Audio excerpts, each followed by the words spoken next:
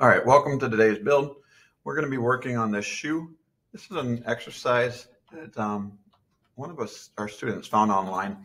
And the video they found kind of goes through it and doesn't give any explanation. It's a time lapse and it goes very quickly. So we want to slow things down a little bit, figure out how can we do and model this using our spline drawings. And we're going to set them up as contours by copying and pasting our vertices.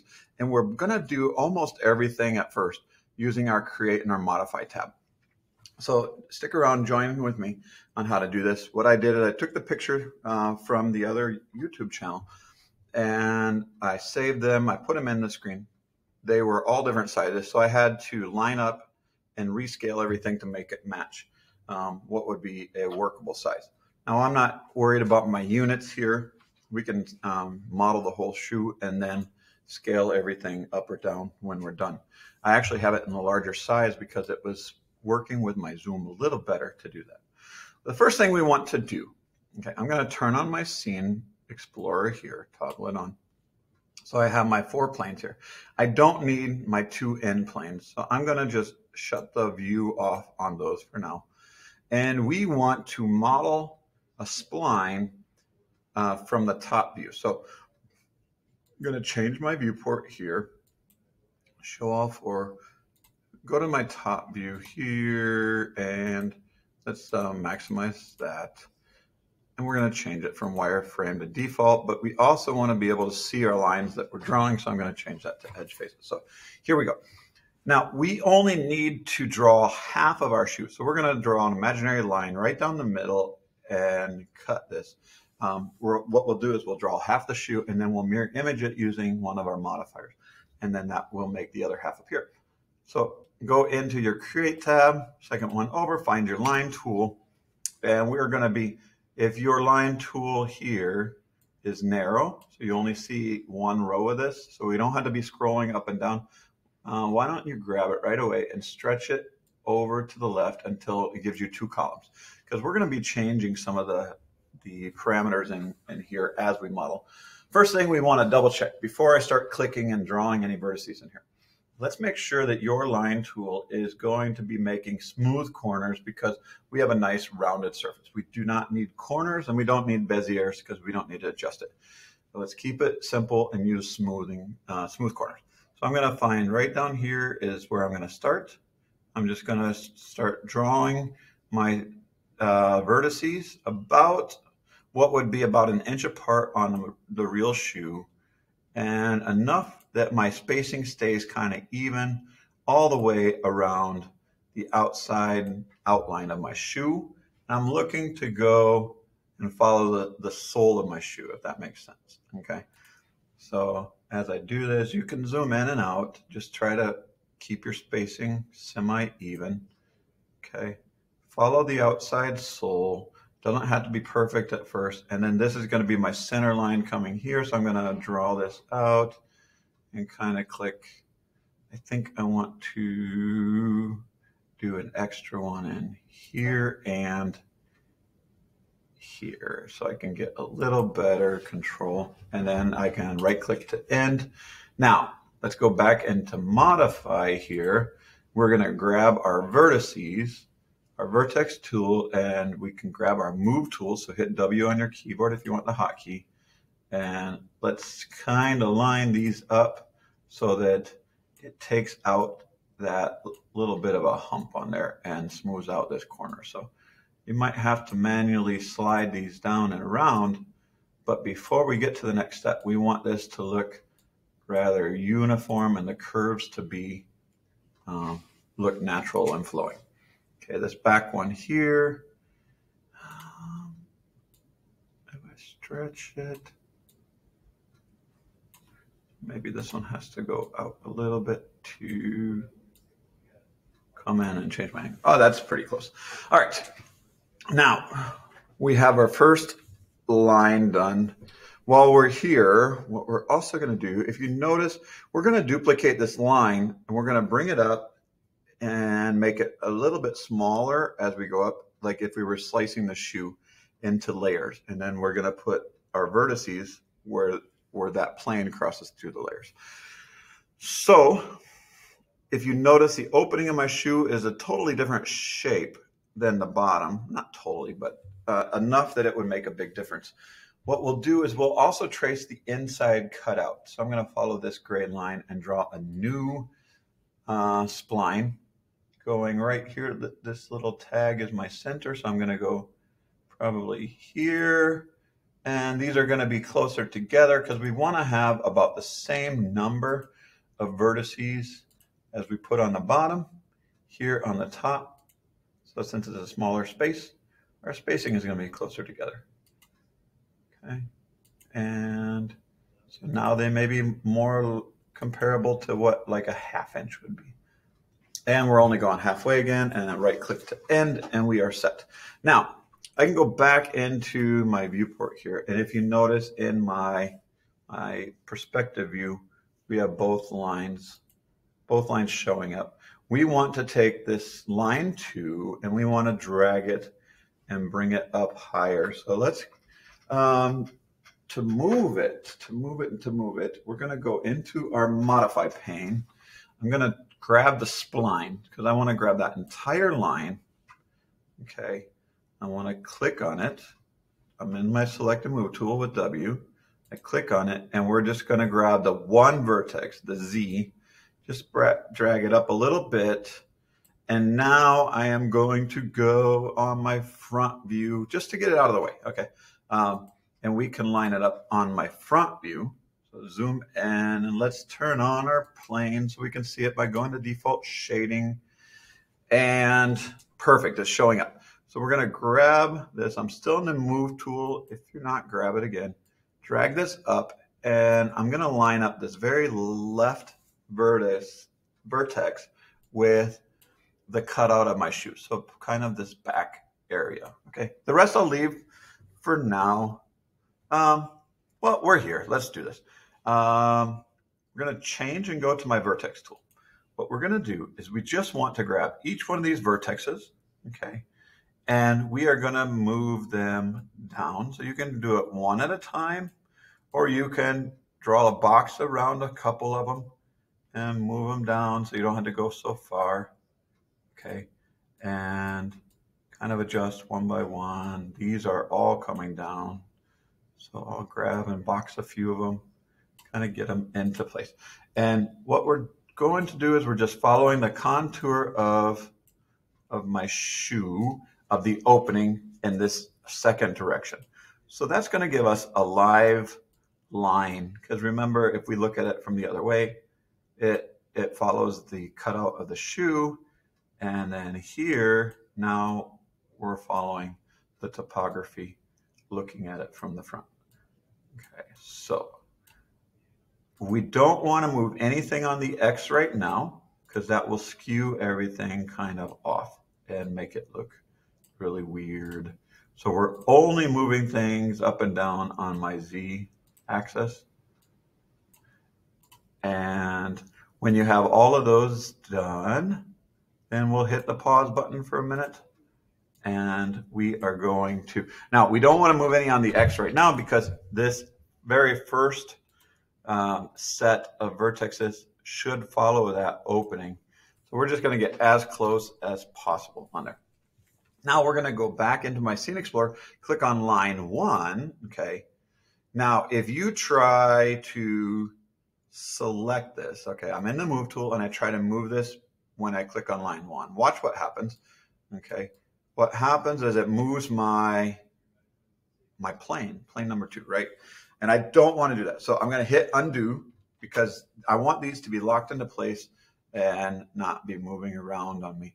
Um, so what I want to do is before I do anything, I'm going to grab my line number two here, but I want to click back on vertexes on my line Okay. And when I have vertexes selected, oh, we want line one. I'm sorry, that's why it's not working. When I click on vertexes, then it gives me the option of seeing and moving just my vertexes around. Okay, does that make sense? So it has to do with what tool you have selected will decide what you move in your scene. So for the first thing that we're going to do before we do anything else, let's bring up these vertexes as well. Um, I'm going to leave this here for a minute. We'll come back and get that in a few minutes. Um, all of these have to come up. So I'm going to bring these up to the bottom of my, my shoe. And I guess I could do it to the bottom of, of the cleats. Let's do both of these up a little bit. So, and then these are going to come up and move these up. Okay, and I'm going to zoom in a little more. And we're going to grab these last two. Move these up together. And then this last one, this will get me pretty close. All right, so now that is our first contour.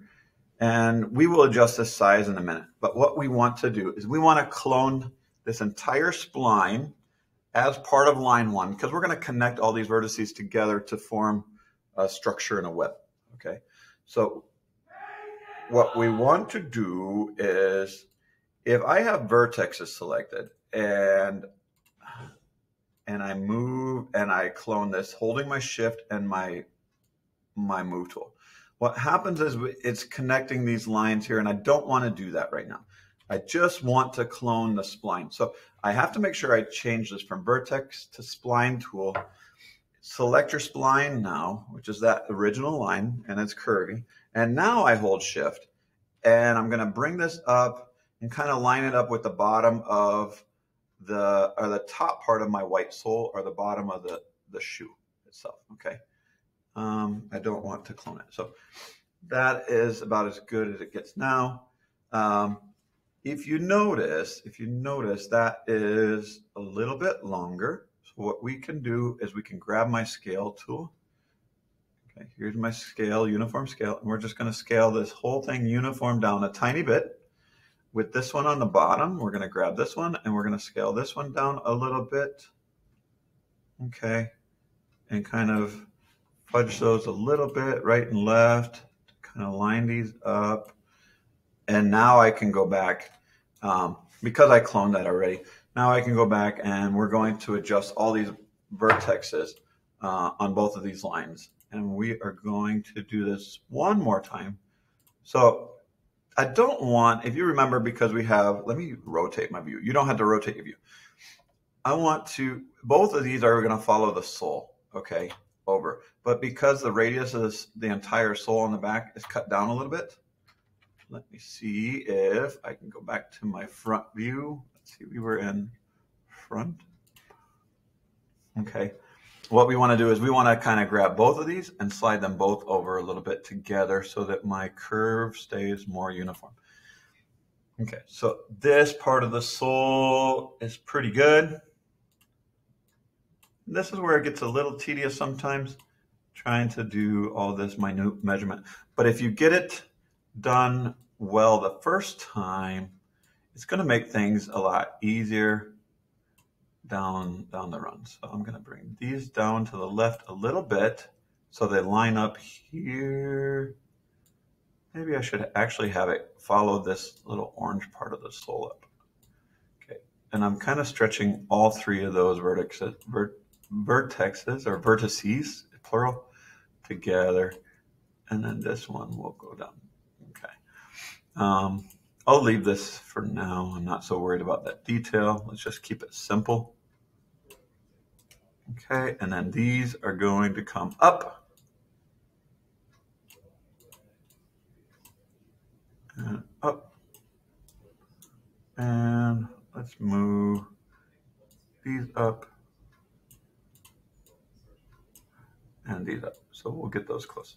Now we have a nice line and part of our curve here. What we want to do next, and we'll adjust this one, is clone this entire spline again. Okay, not the vertexes, but let's uh, level this on out a little bit and just kind of bridge the difference.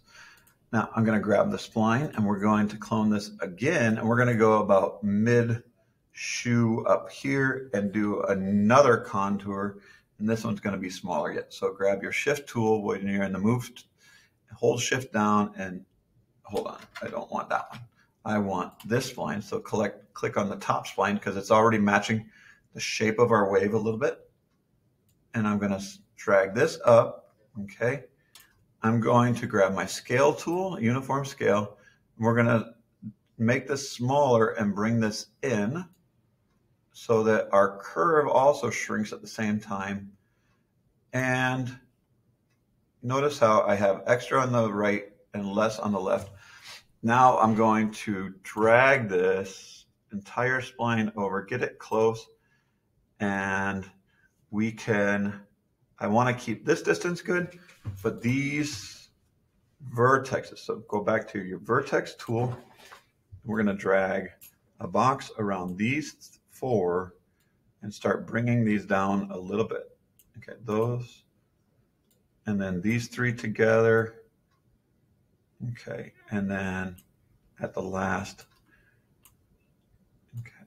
So it's kind of like when you look at a Google Earth topography map that you'll see when we look on this top view. Let's restore our viewport here.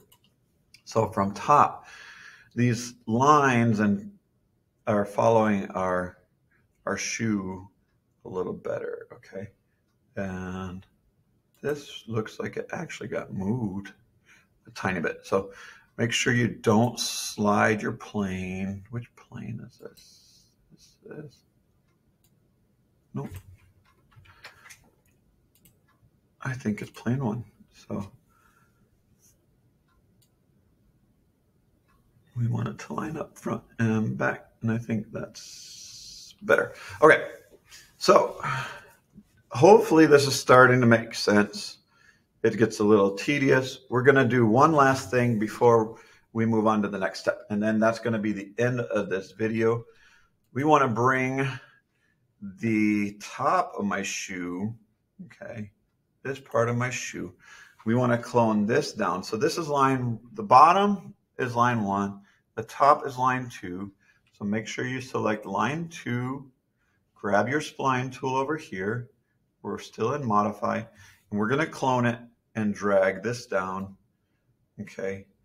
And because we want to split the difference and kind of take the the mean or the middle of of these two lines and vertices.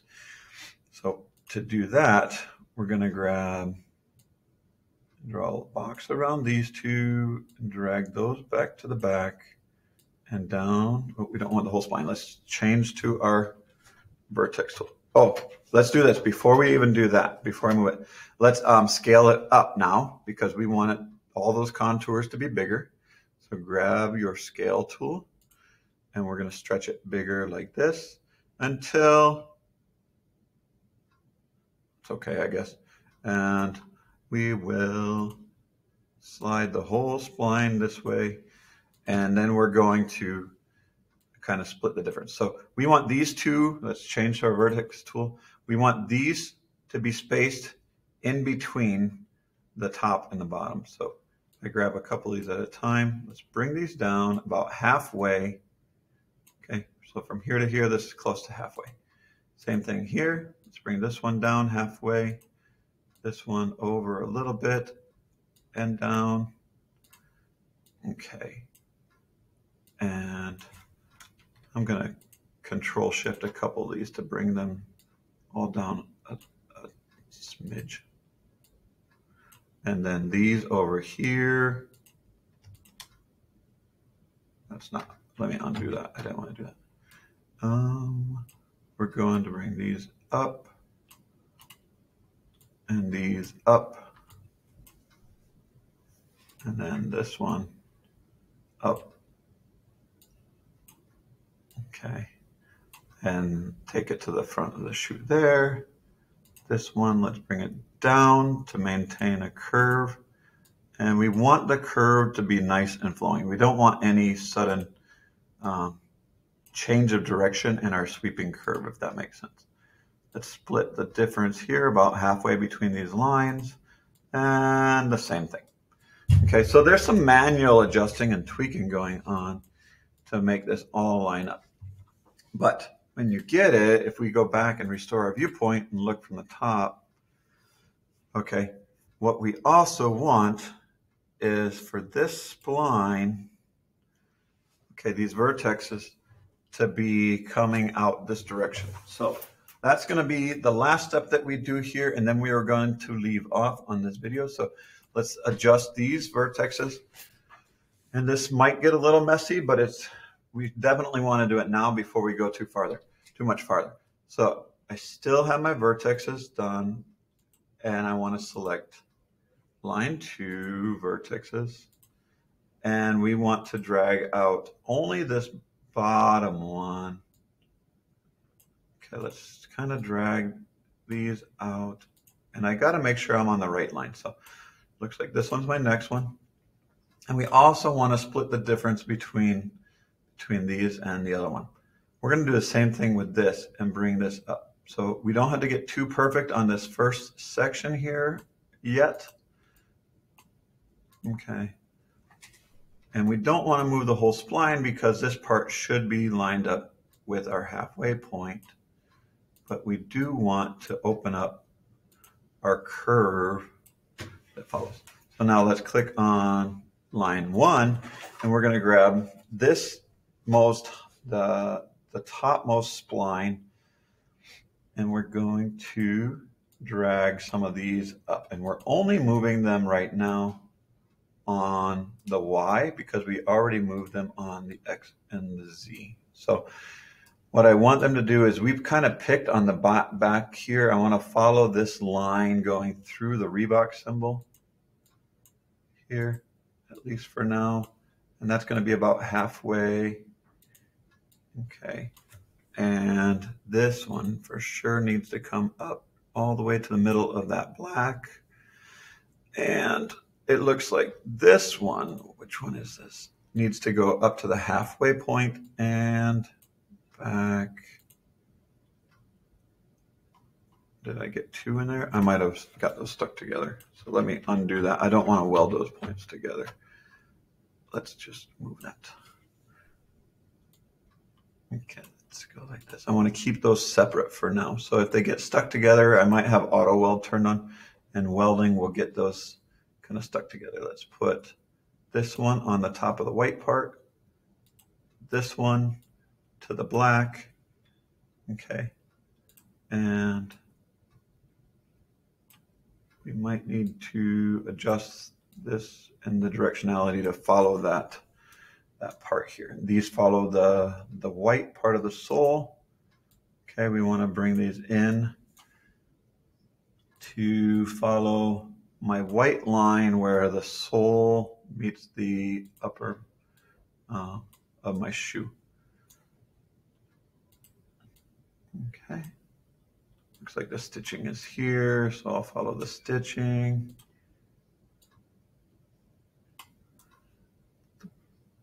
bottom. Which one is this? So this is my interior line. This also needs to go on my stitching. They can be tight. I'm not worried about that. But which line? Okay, so my left one here should follow my shoe here and the last part should go and where the sole meets the insole. All right. I think that is looking pretty good. So when you get yours done this far, um, you'll be sitting pretty and ready for the next step. Thanks for joining me in part one. I look forward to seeing you back here in the next part when we start uh, connecting these, doing a cross section and adding a surface. We will see you in the next one.